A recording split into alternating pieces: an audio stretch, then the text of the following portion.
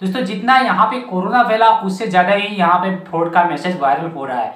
तो बात कर रहा हूँ मैं केबीसी फ्रॉड के बारे में। आपको 25 लाख मिलेगी, किसी में 35 लाख लिखा गया है किसी में 25 लाख लिखा गया है। तो इस तरह के आपको यहाँ पे जाल में फंसाने के लिए एक वायरस फेंका गया है। हालाँकि वायरस नहीं है, आप यहाँ पे कंफ्यूज मत होइए। ये एक मैसेज है बट इस वायरस में, यानी इस मैसेज के जाल में आप आ सकते हैं। तो ये एक आपको वीडियो इंपॉर्टेंट मिल जाएगा। इस वीडियो में आपको मैं बताऊँगा कि आपको करना क्या है। और उन लोगों से बातचीत कैसे करनी है? अगर बाई चांस आपके पास मैसेज आ जाए या फिर कॉल भी आ जाए तो आपको बातचीत कैसे करनी है? सबसे पहले ये आपको ध्यान रखना ठीक है? मैं कुछ टिप्स देने वाला हूँ। हालाँकि मैंने इस टॉपिक पे बहुत सारे वीडियोस बना रखे और एक मेन वीडियो ऐसा बनाया है, आप सोच नहीं सकते क्योंकि इस वीडियो में मैंने प्रूफ के साथ बताया और वो कौन सा वीडियो है, आपको साइड में यहाँ पे दिखा दूँगा।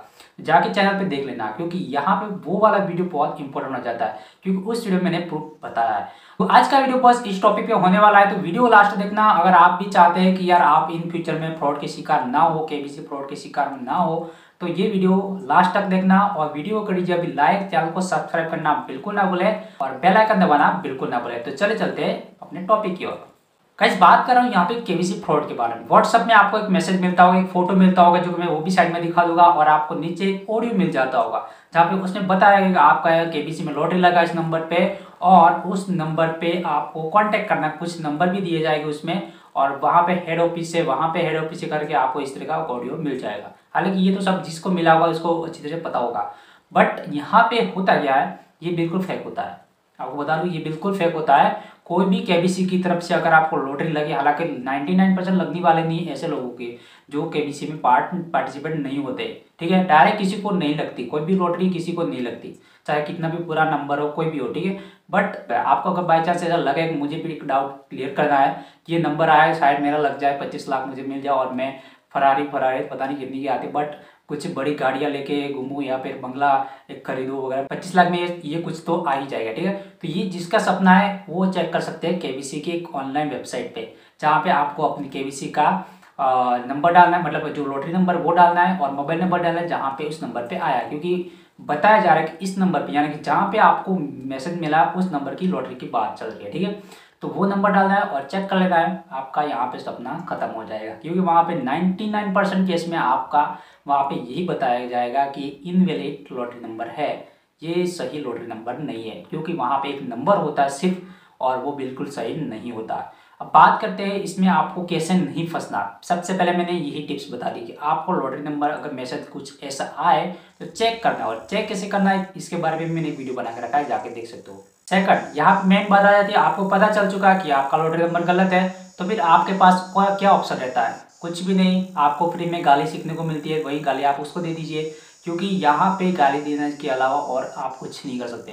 बट यहाँ पे कुछ फ्रेंड फंस भी जाते हैं, क्योंकि यहाँ पे गलती कहाँ पे होती है, ये सब कुछ चेक नहीं करते। और उनको लगता है मुझे पच्चीस लाख मिल जाएँगे तो उसी जल्दबाजी में अपना अकाउंट नंबर कुछ यहाँ पे पेमेंट फ़ी भी भेज देते हैं। मतलब कि सामने वाला ये भी बताता है कि आपको 25 लाख बेचने में हमें इतनी फ़ीस लगेगी, यानी कि ट्रांसफ़र फ़ी लगेगी।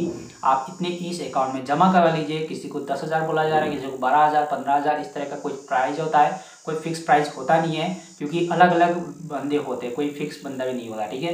तो आपको वो प्रोसेसिंग फ़ी के नाम पे आपको चुना लगवा सकते हैं, और आप जब ट्रांसफ़र कर देंगे, उसके बाद आपको पच्चीस लाख का क्या पच्चीस रुपये भी नहीं मिलेगा, तब आपको पता चलेगा, मेरे यहाँ पच्चीस लाख की चक्कर में बारह हज़ार दस हज़ार चले गए। तब जाके आप, आप आओगे यहाँ पे यूट्यूब पे और सर्च करोगे और आपको पता चलेगा कि मेरा पैसा डूब गया। और फिर यहाँ पे कमेंट करोगे मेरे पैसे रिकवर करने में मेरी हेल्प करो। तो ऐसे मुझे उस वीडियो के नीचे बहुत वीडियो कमेंट्स देखने को मिल रहे हैं। तो आपको ये ध्यान रखना ठीक है? कि आपको पेमेंट नहीं करना आपको प्रोसेसिंग फ़ी अगर मांग रहा है तो नहीं देना है उसको बताना है कि उस पच्चीस लाख में से आप आप ले लीजिए और मुझे बाकी के जितने बचते हैं उतने दे दीजिए, ठीक है? तो आपको ये ध्यान रखना है। बात करने में कोई भी गड़बड़ नहीं करनी, बात करने में आपको घबराना नहीं, क्योंकि पता है वहाँ पे कि वो बंदा बिल्कुल फ्रॉड है तो फिर आपको क्या घबराना है उसमें, ठीक है? अब देखिए, यहाँ पे आपको, जैसे मैंने पहले बताया कि आपको चेक करना है, लॉटरी नंबर, सेकंड बात है, यहाँ पर प्रोसेसिंग फ़ी आपको नहीं भेजनी है, सामने वाला अगर बोल रहा है तो नहीं भेजनी थर्ड बात, यहाँ पे कोई भी ओटीपी आपको शेयर नहीं करना। कोई ये बंदा ये भी कहता है कि आपको मैं पेमेंट भेज रहा हूँ इस नंबर पे, क्योंकि कुछ बंदे नहीं जानते ओ बारे में।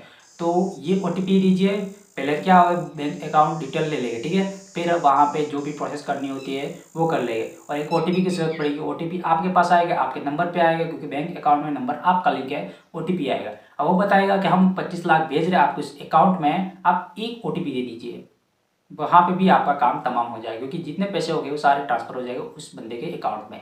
नंबर फोर पे बात करते हैं ये वीडियो और एक मेन वीडियो आप शेयर कीजिए, उन बंदे को लिंक शेयर कीजिए। क्योंकि मेरा वीडियो शेयर करेंगे तो वो सामने वाला ही पता चल जाएगा, यहाँ सामने वाले को पता चल चुका है कि ये फ्रॉड है तो वो बंदा आपको मैसेज करना भी बंद कर देगा या ब्लॉक भी कर सकता है। तो फिर आप कॉल ना करें ब्लॉक कर लीजिए, और आप ऑनलाइन कंप्लेंट करना चाहते हैं तो भी एक वीडियो अवेलेबल है, या फिर आप नज़दीकी पुलिस में जाने चाहते हैं अगर हवाई जहाज़ आपने प्रोसेसिंग भी पे कर दिए पचास हज़ार, कोई भी बंदा ऐसा मान के चलो पचास हज़ार दे दीजिए तो इतना पैसा कौन जाने देगा? तो आप ऑनलाइन एफआईआर या फिर आप नज़दीकी पुलिस केंद्र में जाइए और पुलिस स्टेशन में जाइए और वहाँ पे एफआईआर करवा लीजिए कि इस नंबर पे मुझे मैसेज वगैरह जो भी आया था और उसके बाद मैंने पे कर दिया है वगैरह, ठीक है? तो आप ये भी कर सकते हो, ये आपको कुछ ध्यान रखना है कुछ बातें, ठीक है? ये मैंने कुछ टिप्स बताई और मेन जितने में मेरे वीडियो बनाए हो, सारे वीडियो के लिंक मैं शायद डिस्क्रिप्शन दे दूँगा। आप जाके देख लेना और मेन वीडियो जो प्रूफ के साथ बताए वो तो ज़रूर देखिएगा, क्योंकि वहाँ से आपको पता चलेगा कि ये कैसे फेक है, ठीक है? बस और चेक करने के लिए भी एक वीडियो वो भी आप देख लीजिए। तो ये था आज की इस वीडियो में, कुछ टिप्स मुझे पता नहीं थी क्योंकि बहुत सारे प्रॉब्लम्स होते रहते तो आज का वीडियो यही था, उम्मीद करते हैं आज का वीडियो आपको ज़रूर पसंद आया होगा। तो वीडियो को जब लाइक चैनल को सब्सक्राइब करना बिल्कुल ना भूलें और इस वीडियो को शेयर ज़रूर कीजिए। Thank you